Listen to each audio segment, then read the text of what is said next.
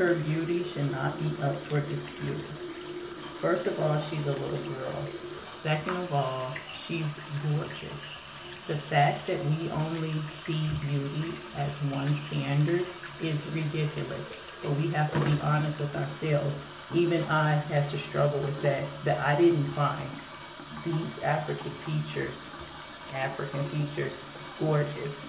I had to learn to find myself beautiful.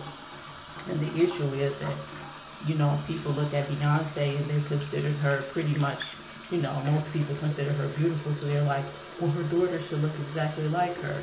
She's not going to look exactly like her. And so what? She's a kid. And if she stays looking like that the rest of her life, she is beautiful.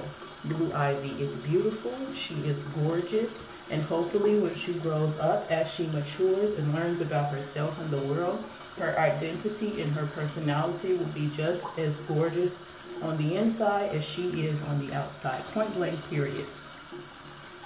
The fact that people have issues with her looks, that really, it's not cliche to say, that means that you have an issue with yourself. Seriously.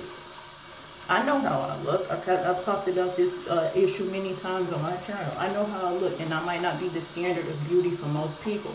That Those are your standards. Those are not my standards. My standard of beauty is whatever I consider to be beautiful, and that's many things. Most times, people show you who they are, and then you're like, ugh, no thank you. And we have to realize that attraction plays a big part in that. Someone could be good looking, but then you start talking to them, or it's just something about their energy or their spirit that isn't attractive. So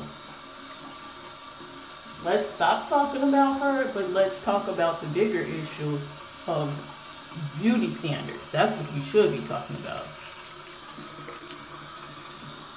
Leave that baby alone. Now I gotta go because I'm about to be late. I love y'all. Yeah, truly. And stop being judgmental, mofos. Stop being judgmental. Love yourself and you can love others. Please. Please, please, please.